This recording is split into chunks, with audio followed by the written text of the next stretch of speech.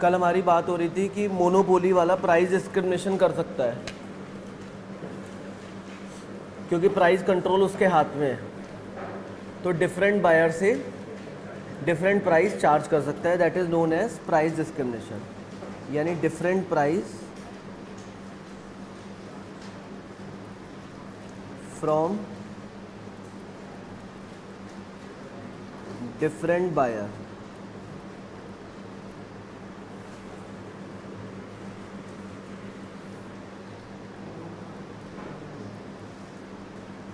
different different price ले लीजिए different different buyer से। That is called price discrimination price discrimination करने की कुछ कंडीशंस हैं।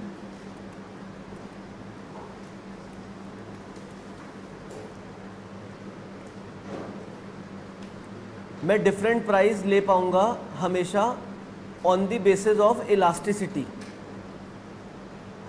देखिए इन इलास्टिक है कोई। इन इलास्टिक का मतलब प्राइस बढ़ने पर क्वांटिटी में कोई खास चेंज नहीं होगा।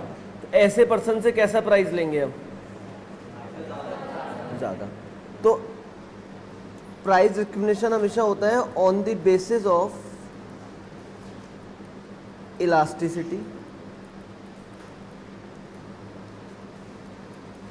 if inelastic high price लीजिए। और इलास्टिक अगर है,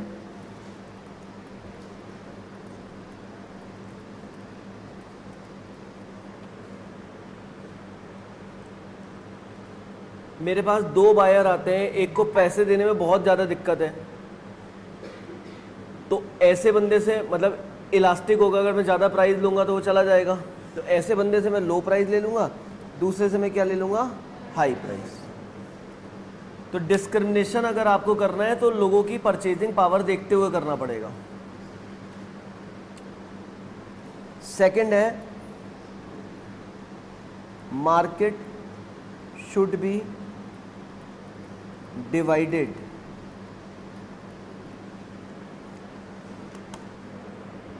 मैं एक ही मार्केट में डिफरेंट प्राइस लूँगा तो आपस में लोगों में फिर मेरे से झगड़ा करेंगे लोग। मतलब आप सोचिए, हम ये बोले कि हमने पिछले बैच से बीस हज़ार फ़ीस ली थी, इस इस बैच से हम पच्चीस हज़ार फ़ीस ले रहे हैं। इसमें आपको कोई दिक्कत होगी?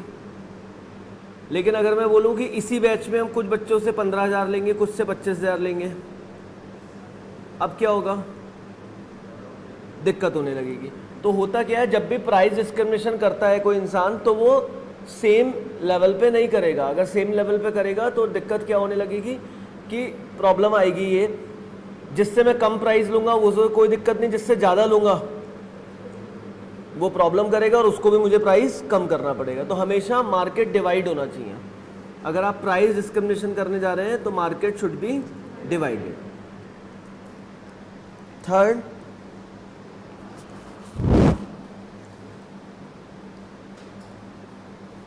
consumer of low price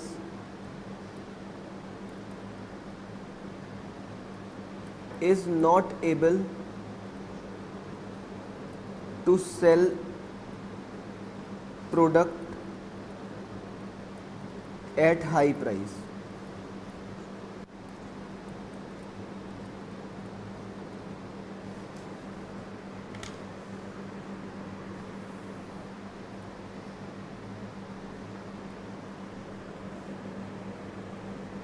मतलब क्या बात कहना चाह रहे हैं हम? जैसे ये मेरे पास आता है पर्सन कहता है कि, सर, आप मुझे प्रोडक्ट चाहिए। मैंने देखा ये रिच पर्सन है। और मैंने इसे प्रोडक्ट की कीमत बताई सौ रुपये ये बोले, ठीक है, मैं कल ले लूँगा। इस बीच में इनके बराबर वाला पर्सन मेरे पास आता है और कहता है, सर, मैं पैसे नहीं दे पाऊँगा, बहुत ज़्यादा। ये तो चले गए। पहले वाला तो चला गया जैसे सौ रुपये में तय हुआ, वो कल आके ले लेगा। दूसरा पर्सन आता है, उससे वो ये कहता है, मैं ज़्यादा पैसे नहीं दे सकता। मुझे डिस्काउंट चाहिए। बताइए, इसे भी सेकंड वाले को भी सौ रुपये में दें या कम में कर दें? कम में कर। हमने कहा, भाई, तुम साठ रुपये में ले लो। इन्होंने माल साठ में ले लिया। अगले दिन हम वेट कर रहे हैं, सौ रुपये वाला बंदा हमारे पास आएगा, वो आया ही नहीं। पता लगा, ये बंदा इतना चलाक था इसने इसे माल नब्बे में बेच दिया। अब जब इस सौ वाले को नब्बे में माल मिल रहा है तो कोई बात ही नहीं। यानी मैं मोनोपोली मोनोपोलिस था बट मेरा कॉम्पिटिटर तैयार हो गया। खुद ही मुझसे किसी ने माल लिया लो प्राइस पे और ज़्यादा पे बेच दिया। क्या ये प्राइस डिस्क्रिमिनेशन मुझे करना चाहिए मार्केट ख़राब करने के लिए या नहीं करना चाहिए? तो मुझे ये इंश्योर होना चाहिए कि जिसको मैं लो प्राइस पे बेचूँगा, वो एबल नहीं होना चाहिए इसको हाई प्राइस पे बेचने अगर मुझे लग रहा है आप मुझसे लो में खरीदेंगे, आगे हाई में बेच देंगे, मेरा नुकसान है। तो प्राइस डिस्क्रिमिनेशन करते समय आपको इलास्टिसिटी देखना चाहिए, ये देखना चाहिए कि बायर मिल ना पाए, यानी मार्केट डिवाइडेड हो, और तीसरा लो प्राइस वाला किसी भी हाल में हाई प्राइस पे ना बेच। तो अगर आप यहाँ देखें कंडीशंस में page 4.185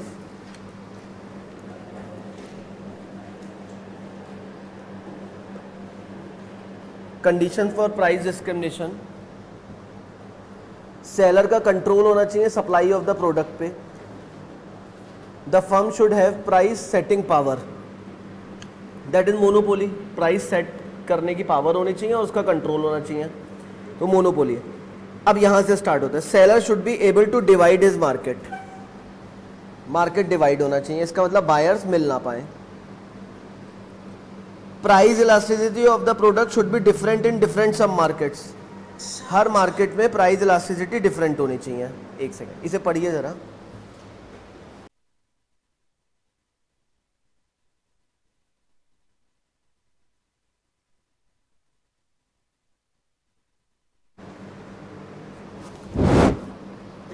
प्राइस इलास्टिसिटी डिफरेंट होना चाहिए। Monopolist fixes a high price for his product for those buyer whose price elasticity is less यानी जो इन इलास्टिक होगा उसके केस में कैसा प्राइस लेंगे हम? हाई प्राइस और इलास्टिक वाले में low price and fourth it should not be possible for the buyer और low price market to resell it at high price तो ही प्राइस डिस्क्रिमिनेशन करेंगे. यानी प्राइस डिस्क्रिमिनेशन कौन कौन कर सकता है?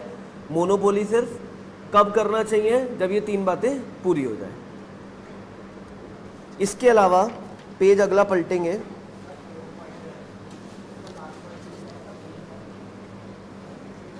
It should not be possible for the buyer of low price market to resell the product to the buyer of high price market. There there must be no market arbitrage arbitrage का मतलब होता है जो एक ऐसा process जहाँ लो price पे माल खरीद के हाई प्राइस पे बेचा जाता है। दैट इज़ कॉल्ड आर्बिट्रेज तो आर्बिट्रेज पॉसिबिलिटी नहीं होनी चाहिए। जैसे सेंसेक्स है इसमें B S E N S E दो स्टॉक एक्सचेंज चलते हैं। मैं देखता हूँ बी एस सी में रिलायंस है सौ रुपये का और एन एस सी में एक सौ दो का। तो, तो मैं वहीं से खरीद के वहीं बेच दूँगा। भाई, मैं बी से सौ में खरीदूँगा, वहीं एक सौ दो में बेच दूँगा, सुबह से शाम तक करोड़ों रुपए कमा लूँगा। तो ऐसा नहीं होता। प्राइस हर जगह कैसा रहेगा आपका हमेशा? सेम रहेगा। लेकिन अगर आप डिफरेंट डिफरेंट प्राइस कर देंगे तो आर्बिट्रेज हो जाएगा। तो आप बेच ही नहीं पाओगे, पहले ही लोग लो मार्केट में खरीदेंगे और हाई मार्केट में बेच देंगे। तो आर्बिट्रेज होना नहीं चाहिए। आर्बिट्रेज का मतलब लो प्राइस पे परचेज हाई प्राइस पे सेल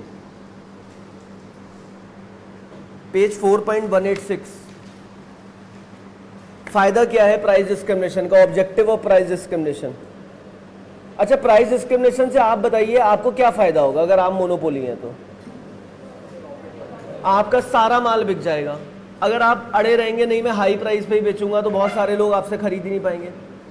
तो इससे क्या होगा? अनवांटेड स्टॉक खत्म हो जाएगा। सेकंड मैक्सिमम प्रॉफिट होगा। भाई, हर प्रोडक्ट पे कुछ ना कुछ तो माल बिकेगा। अगर मैं हाई प्राइस पे अटका रहूँगा तो मैं सौ यूनिट बेच पाऊँगा।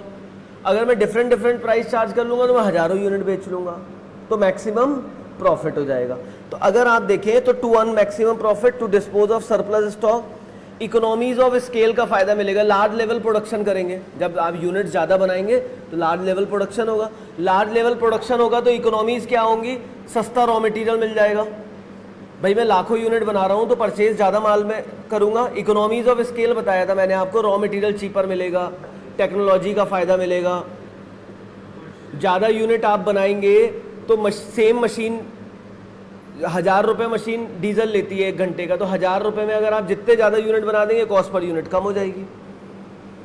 फॉरेन मार्केट भी पकड़ लेंगे आप एक्सपोर्ट कर देंगे माल सस्ता। यहाँ पर भी क्या होता है, जो एक्सपोर्टर्स हैं, वो डोमेस्टिक महँगा देते हैं, माल एक्सपोर्ट में सस्ता देते हैं। वही माल वो सौ रुपए में यहाँ दे रहे हैं और एक्सपोर्ट करेंगे तो नब्बे या अस्सी रुपए में कर देंगे। ऐसा इसलिए करते हैं, उन्हें मालूम है कि बायर आपस में मिल नहीं सकते। फॉरेन में कंपटीशन इतना है, वरना चाइना से माल पहुँच जाएगा। नब्बे में देने में उन्हें नुकसान है। क्यों नुकसान नहीं है? कुछ तो फ़ायदा हो गई पचास चालीस रुपए में माल बन रहा होगा। और जितना ज़्यादा माल बनाएँगे, उसमें क्या होगा? सेम मशीन चलने पे ज़्यादा से ज़्यादा माल बन जाएगा। सेम फैक्ट्री के रेंट में ज़्यादा से ज़्यादा माल बन जाएगा। सेम मैनेजर रखा हुआ है, जितना ज़्यादा माल बन जाएगा, उतनी कॉस्टिंग कम हो जाएगी।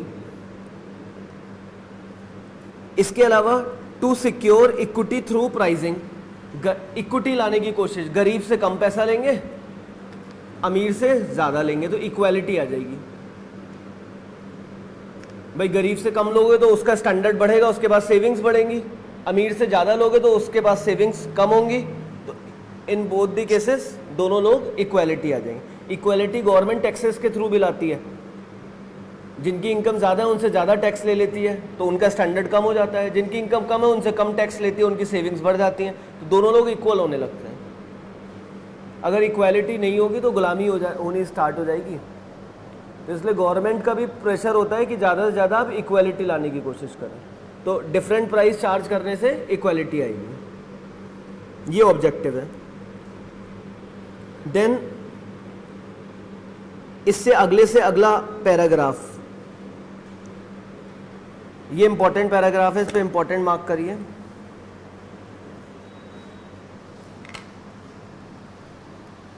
थ्री डिग्रीज हैं।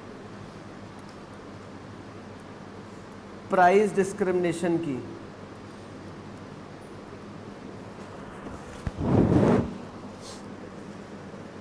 और ये दी थी पीगू ने।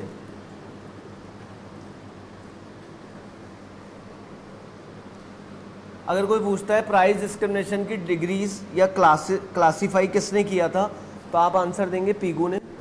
इसने कहा था, तीन तरीके का प्राइस डिस्क्रिमिनेशन होता है। First degree no consumer surplus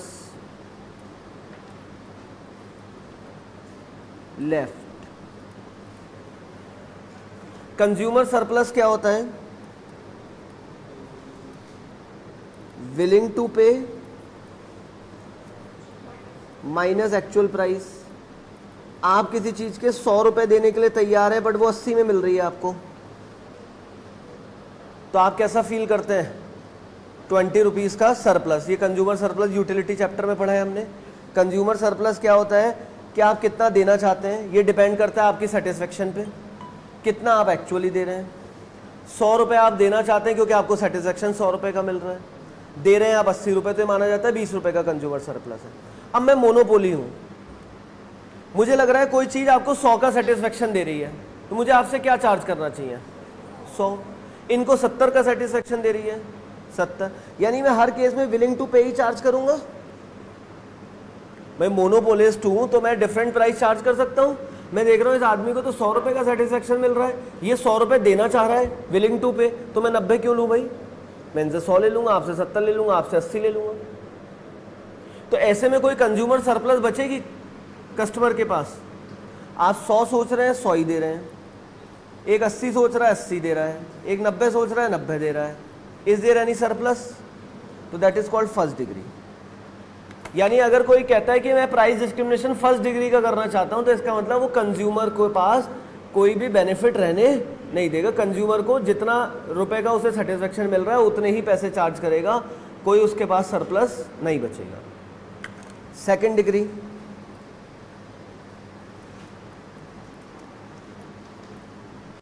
part of consumer surplus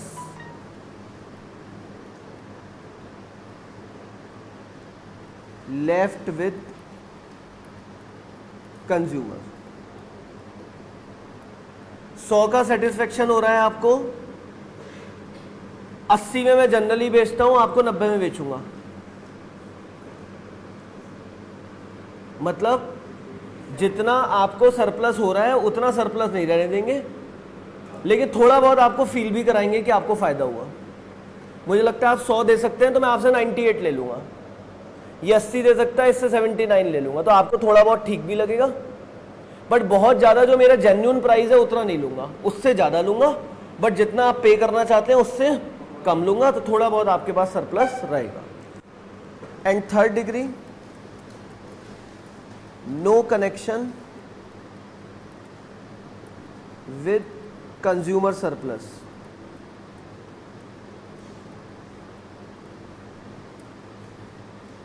discrimination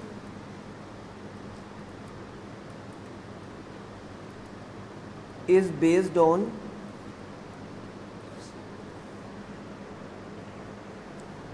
age class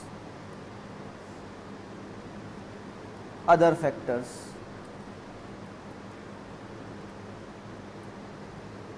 third degree वो कहते हैं एज के बेसिस पे क्लासिफिकेशन सीनियर सिटीजन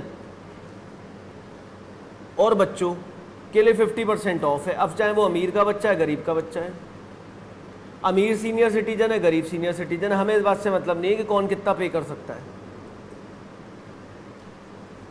क्लास के बेसिस पे शेड्यूल कास्ट ओबीसी इन लोगों के लिए फॉर्म की कॉस्ट कुछ होगी। जनरल कैटेगरी के लिए कुछ होगी। हमें नहीं पता कि किस पे कितने पैसे हैं। तो इन बेसिस पर या कोई और इसी तरीके का फैक्टर अगर पकड़ लें इन बेसिस पर जब क्लासिफिकेशन होगा, जिसमें ये नहीं देखा जाएगा कि कौन अमीर है, कौन गरीब है that degree is called third degree of price discrimination अब पढ़ते हैं जरा। Price discrimination may be related to consumer surplus enjoyed by consumers professor Pigou classified three degree of price discrimination under the first degree of price discrimination monopolist separates the market into each individual consumer and charge them the price they are willing and able to pay हम उतना ही पैसा लेंगे जितना willing to पे है। अरे आप willing to पे सौ रुपए है तो मैं आपसे कितने पैसे ले लूँगा? सौ। तो क्या कंज्यूमर सरप्लस रहेगी आपके पास? यानी हम ये भी बोल सकते हैं कि फ़र्स्ट डिग्री में there is no consumer surplus left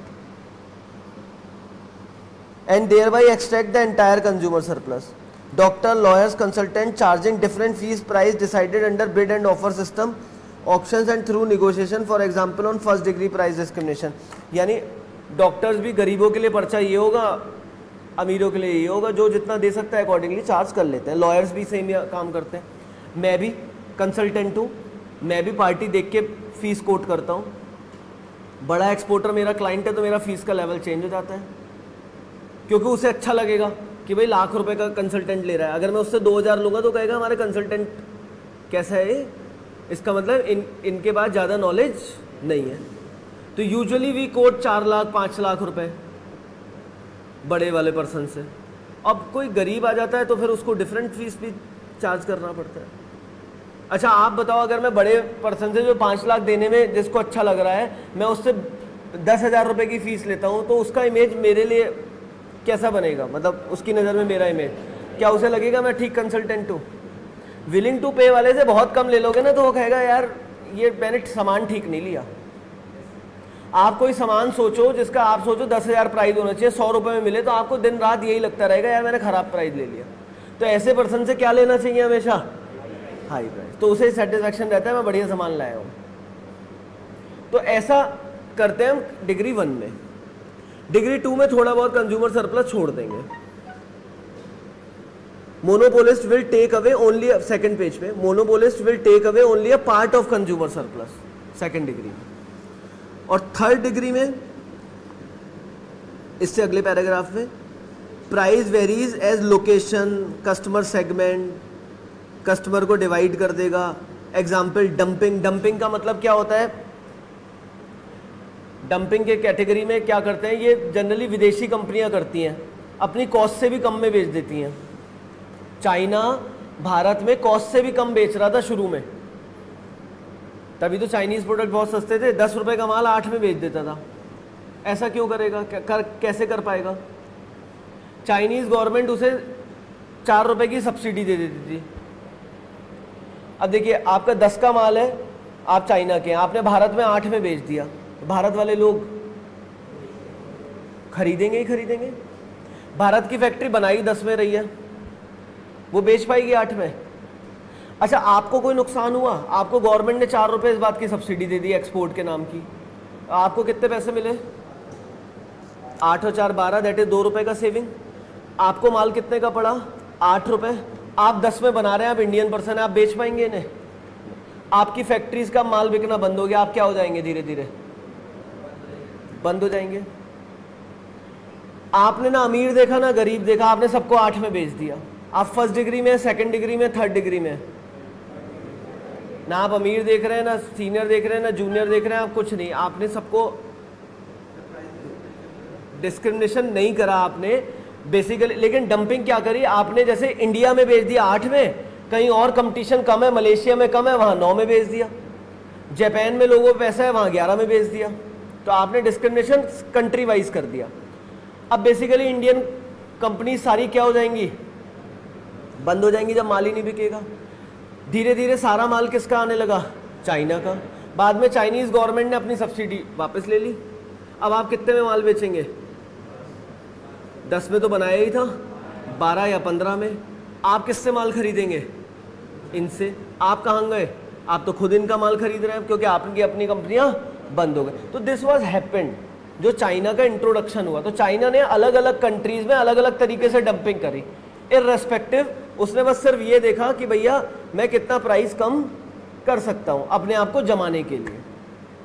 consumer surplus पर उसका कोई ध्यान नहीं था कि कौन कंज्यूमर कितना दे सकता है। इंडिविजुअल कंज्यूमर उसने किसी कंट्री में नहीं देखा। तो that was dumping charging different prices for domestic and commercial uses electricity commercial use में, जैसे हम कॉमर्शियल यूज़ कर रहे हैं, नौ रुपए दे रहे हैं, आठ रुपए। यही अगर डोमेस्टिक यूज़ करेंगे हमारे नीचे किराएदार तो वो चार रुपए दे रहे हैं। यानी एक ही बिल्डिंग में दो कनेक्शन है हमारे यहाँ। नीचे जो ग्राउंड फ्लोर है, वो लोग डोमेस्टिक यूज़ कर रहे हैं, वो एसी चार रुपए में यूनिट पे चला रहे हैं। मैं नौ रुपए में चला रहा हूँ। तो क्या हो रहा है कि ये किस बेसिस पे, ये इन्होंने क्लास वाइज डिफरेंट चार्ज किया है इरेस्पेक्टिव मुझ पर पैसा ज़्यादा है उन पर पैसा ज़्यादा है, ये चीज़ नहीं देखी गई। रेलवे ने सीनियर सिटीजन के लिए प्राइस लो कर दिया। तो वो ये नहीं देख रहा सीनियर अमीर है, गरीब है। तो सीनियर से अलग प्राइस होगा, दूसरे से अलग प्राइस होगा। तो दिस इज़ प्राइस डिस्क्रिमिनेशन आप आइए फिगर नंबर 28 जो जो मैं पढ़ा रहा हूँ, केवल अभी इन्हीं पे ध्यान देंगे। जो टॉपिक छोड़ रहे हैं, वो उन्हें छोड़ दीजिए अभी। अच्छा आप ये बताइए, अगर मैं ऐसे प्राइस चार्ज करता हूँ, ऐसे करता हूँ, क्या कोई बता सकता है इसमें से इन इलास्टिक कौन है? इन इलास्टिक का मतलब क्या होता है? प्राइस में ज़्यादा चेंज हो क्वांटिटी में कम। इन इलास्टिक कौन है इन दोनों में से? ए ए में देखिए प्राइस में इतना सारा चेंज हो रहा है क्वांटिटी में जरा सा। इलास्टिक क्या होता है? प्राइस में जरा सा चेंज हो क्वांटिटी में ज़्यादा। अब एक मोनोपोली वाला है। मोनोपोली है तो उसका प्राइस और ए आर इस तरीके से होगा। क्या एक मोनोपोलिस्ट के दो ऐसे कर्व हो सकते हैं या सिंगल ही रहेगा? हो सकते हैं क्योंकि वो किसी से ऐसा प्राइस चार्ज करेगा, किसी से ऐसा। अब अगर वो इन दोनों को मिला के कंबाइंड कर्व करना चाहता है तो कंबाइंड कर्व कर लेगा। जो थोड़ा यूँ आएगा, थोड़ा यूँ आएगा। कहीं बीच में मिक्स एंड मैच आएगा तो अब जरा देखिए। सब market A sub market B ए से कैसा प्राइस चार्ज कर रहे हैं ये? P one as compare to P two कैसा ज़्यादा है? तो ज़्यादा किससे चार्ज करते हैं? इन इलास्टिक यानी sub market A sub market A is a inelastic sub market B is the elastic दोनों से मिला के इन्होंने अपना कर्व बना लिया, दोनों को दिखाते हुए। तो डाउनवर्ड ही होगा बट डिफरेंट डिफरेंट मार्केट से कर सकते हैं आप। तो ये यहाँ पर ये बताना चाह रहे हैं कि ए से हम हाई प्राइस चार्ज कर रहे हैं। देखिए पी वन बी से लो प्राइस चार्ज कर रहे हैं। पी टू बी को जो है सब मार्केट बी वो इलास्टिक है। और ये टोटल मार्केट का एक मिक्स एंड मैच कर्व बना लिया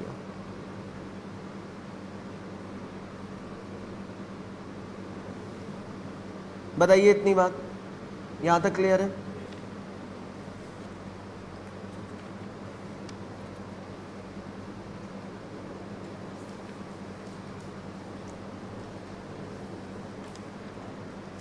मोनोपोली में बस अभी मेन मेन यही पढ़ना था। यानी मोनोपोली के कर्व कैसे बनने थे? डाउनवर्ड ये ए आर ये एम आर यहाँ प्राइस कट हुआ एम सी ये यहाँ गए। लॉन्ग रन है, कैसा प्रॉफिट होगा? सुपर नॉर्मल, क्योंकि और सप्लायर एंटर नहीं यही मोनोपोलिस्टिक होता है लॉन्ग रन में? नॉर्मल। Perfect competition? नॉर्मल, क्योंकि सप्लायर्स एंटर कर जाते हैं। अब आ जाइए अब oligopoly, page number 4.193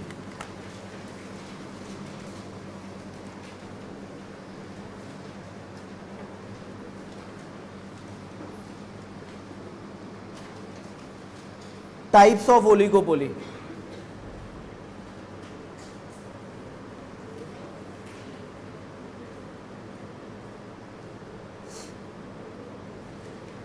oligopoly क्या ओलिगोपोली में आपको मैंने बताया था क्या चीज़ होती है? फ्यू सेलर्स होते हैं सेम प्रोडक्ट बेचते हैं।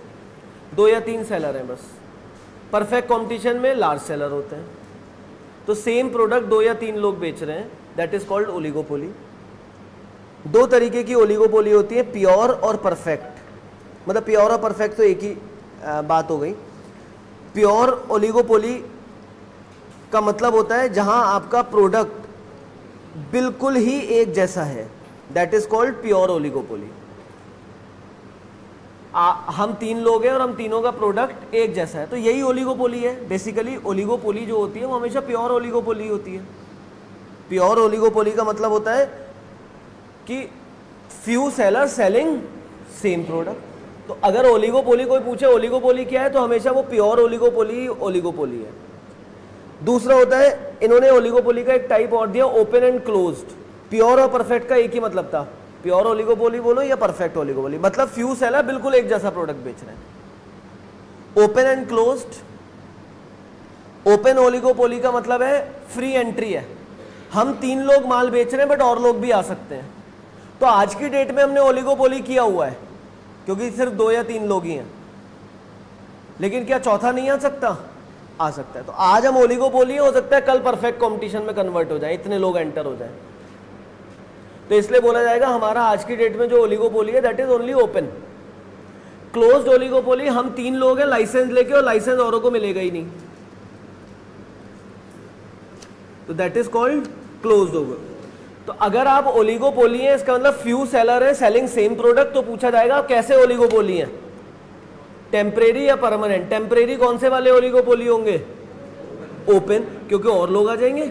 जब इतने सारे सेलर आ जाएँगे तो आप कहाँ रहोगे? परमानेंट आप ओलिगोपोली कब रहोगे? कॉल्यूसिव एंड कॉम्पिटिटिव कॉल्यूसिव का मतलब मिलजुल कर।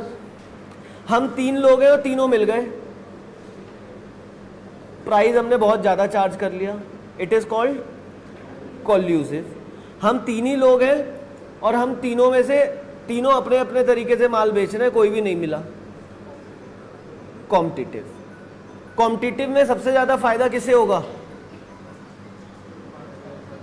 बायर को। हर तरीके कॉम्पिटिशन में बायर को फ़ायदा होता है। देखो, पाँच रुपए का माल बना रहे थे, तीनों मिल जाते तो पच्चीस में बेच लेते।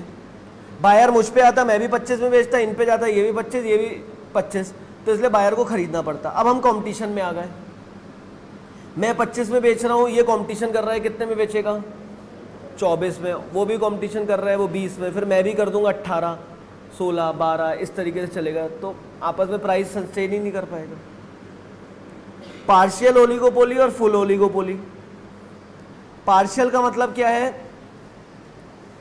तीन firm A B C A के पास नब्बे परसेंट शेयर है बी के पास छह और सी के पास चार।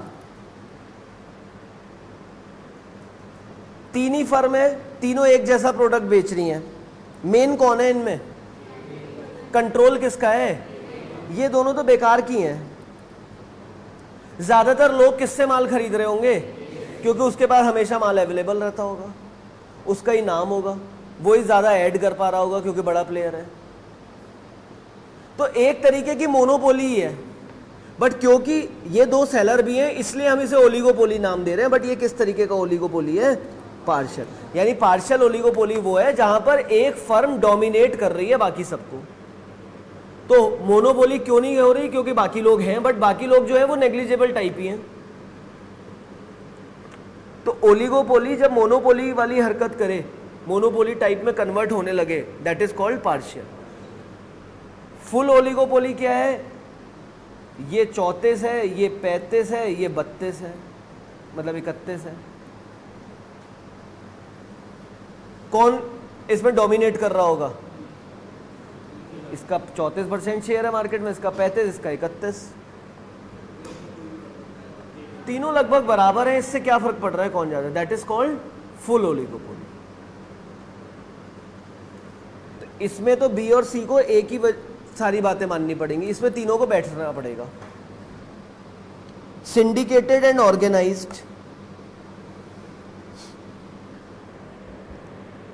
organized oligopoly क्या होती है? जैसे जितने भी सेलर हैं, उन्होंने अपनी एक एसोसिएशन बना ली। एसोसिएशन एक जगह मीटिंग करके प्राइस डिसाइड करेगी, बट सारे लोग अपने अपने दुकानों से माल बेचेंगे। मतलब समझिए। जैसे, ऐसे एग्ज़ाम्पल लेते हैं सी एसोसिएशन इन मुरादाबाद तो सारे चार्टेड अकाउंटेंट्स एसोसिएशन में गए मीटिंग हुई, वहाँ डिसाइड हुआ कि हम पचास हज़ार रुपये ऑडिट के लेंगे। अब मैं अपने ऑफ़िस से ऑडिट करने लगा, एक सी अपने ऑफ़िस से करने लगा, दूसरा अपने ऑफ़िस से करने लगा। यानी हम लोग केवल किस चीज़ के लिए मिले थे? प्राइस डिसाइड करने के लिए। दैट इज़ कॉल्ड ऑर्गेनाइज यानी ऑर्गेनाइजेशन बनेगी सिर्फ़ just to decide price syndicated क्या होता है? हम माल भी एक सेंट्रल प्लेस से बेचेंगे। सब्ज़ी मंडी। यानी सबको एक ही जगह बैठना पड़ेगा। हमने प्राइस डिसाइड करा, फिर सब एक साथ बैठ गए। सीए में तो ऐसा नहीं होगा। मतलब वैसे किसी गुड्स, यहाँ पे वो वाला एग्ज़ाम्पल नहीं चल पाएगा। लेकिन बाकी किसी गुड्स के केस की बात करूँ मैं तो गुड्स के केस में सब्ज़ी मंडी जैसे मैंने एग्ज़ाम्पल दिया प्राइस डिसाइड हुआ, अब सारे लोग सेम प्राइस पे बेच रहे हैं। दैट इज़ कॉल्ड सिंडिकेटेड जैसे नैनीताल में रिक्शा आपको लेनी हो तो वो एक ही जगह पे मिलेगी, और सबका प्राइस सेम होगा। यानी सब मिलेंगे भी वहीं। लेकिन प्राइस डिसाइड हो जाता कोई कहीं पे भी मिल जाता। तो वो ऑर्गेनाइज होता। सर प्राइस डिसाइड करने के लिए मिले। तो देखिए syndicated oligopoly refers to that situation where the firm sell their product through a centralize syndicate माल बेचेंगे एक सेंट्रलाइज सिंडिकेट से। Organize oligopoly refers to the situation where the firms organize themselves into a central association for fixing price output quota सिर्फ़ association बनाइए price output quality Kota ये सब decide करने के लिए आप इतना माल बेचोगे, आप इतना बेचोगे, आप ये करोगे, आप वो नहीं करोगे। सिर्फ़ इनके लिए, बाकी सबके प्लेसेस अलग अलग हैं। अब आप ज़रा, जितना मैंने पढ़ाया है, इस पर ज़रा कुछ क्वेश्चंस बताइए।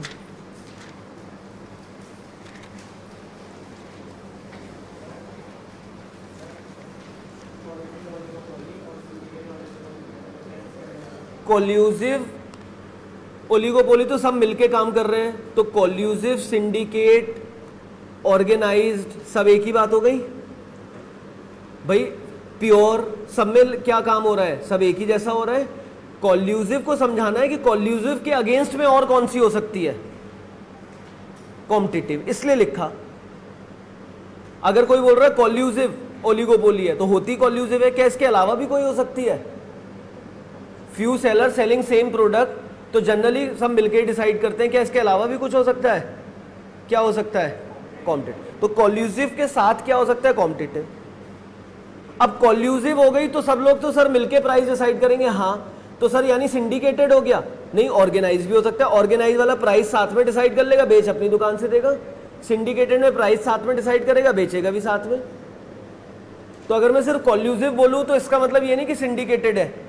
कॉल्यूजिव तो मिलके प्राइस डिसाइड करना फिर इसमें भी दो कैटेगरीज हो सकती हैं। और कॉल्यूजिव के अलावा भी कोई हो सकती है क्या?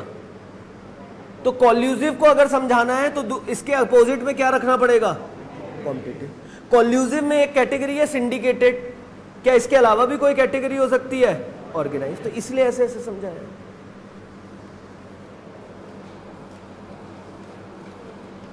Question number 81 page 211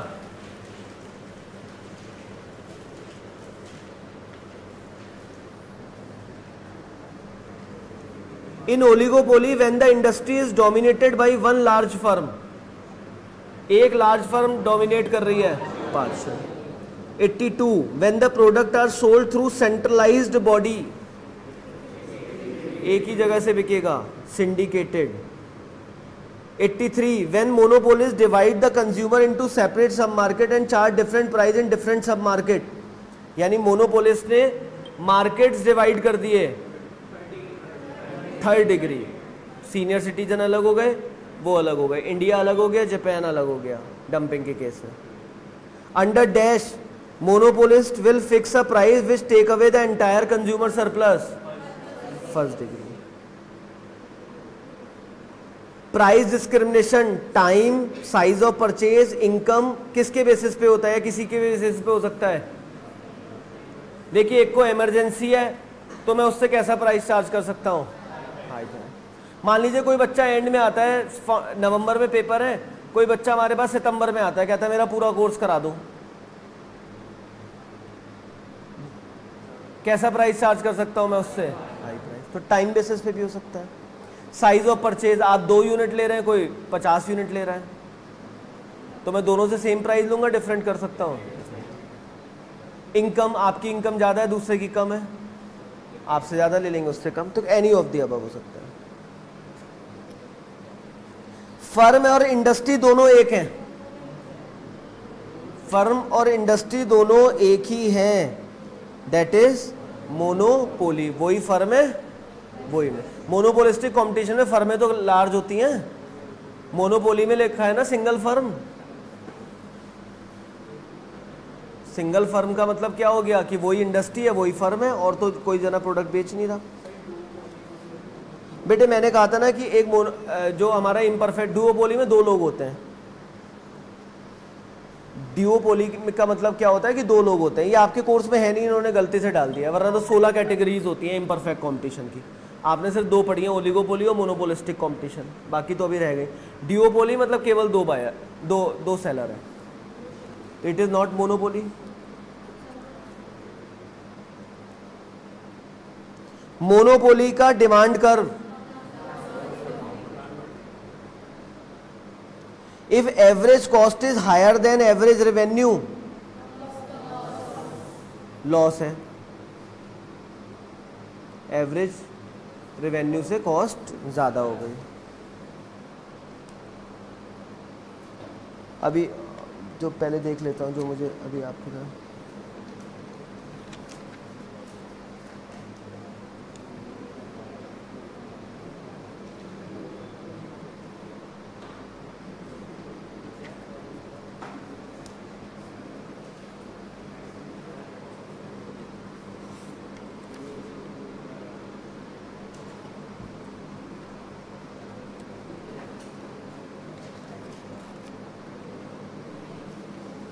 thirty nine.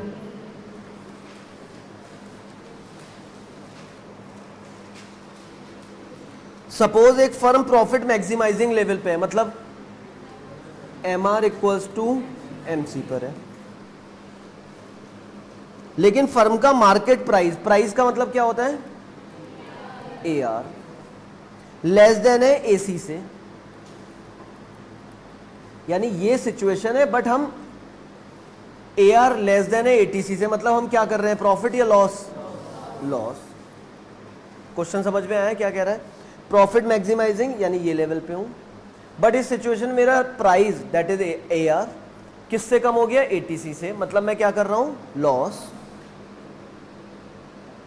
लेकिन एवरेज रेवेन्यू मेरा एवरेज वेरिएबल कॉस्ट से ज़्यादा है। यानी टोटल कॉस्ट से तो कम है इसका मतलब मैं दस रुपये में माल बेच रहा हूँ वेरिएबल कॉस्ट है मेरी छह रुपये लेकिन टोटल कॉस्ट है मेरी बारह रुपये तेरह रुपये तो ज़्यादा क्यों हो गई total cost because of fixed cost यानी मैं छह रुपए खर्च करके दस में माल बेचता हूँ, लेकिन ओवरऑल तेरह रुपए खर्च हो रहे हैं और माल कितने में बिक रहा है? दस में। अब क्वेश्चन ये उठता है कि आपको इस लॉस में प्रोडक्शन करना चाहिए या नहीं करना चाहिए? इस लॉस में प्रोडक्शन करना चाहिए या नहीं करना चाहिए? या नहीं करना चाहिए? क्योंकि अगर नहीं करता तो लॉस कितना होता? सात रुपए का। अब कितने का होगा? तेरह में माल बना, दस में बिका। अब कितने का होगा? तीन रुपए का। तो जब भी वेरिएबल कॉस्ट रिकवर हो रही हो लॉस हो भी जाए, तब भी प्रोडक्ट बेचना चाहिए। मैंने आपको एक एग्ज़ाम्पल भी कराया था। कह रहे firm should shut down firm should raise its price price बढ़ाना चाहिए। लेकिन अगर आपकी फर्म है तो प्राइस तो बढ़ा ही नहीं सकती कभी। अगर ये यहाँ पे डी पॉइंट है the firm should continue to operate in the short run to order to minimize in order to minimize losses loss कम करने के लिए काम करना चाहिए। हमने आपको बताया था, अगर नहीं बनाएँगे तो कितने का लॉस होगा? सात का। अगर बनाएँगे तो तेरह की चीज़ दस में बिकेगी, तीन का लॉस होगा। ये जनरली कब हैपेंड होता है? जब ऑफ़ सीजन्स वगैरह होता है।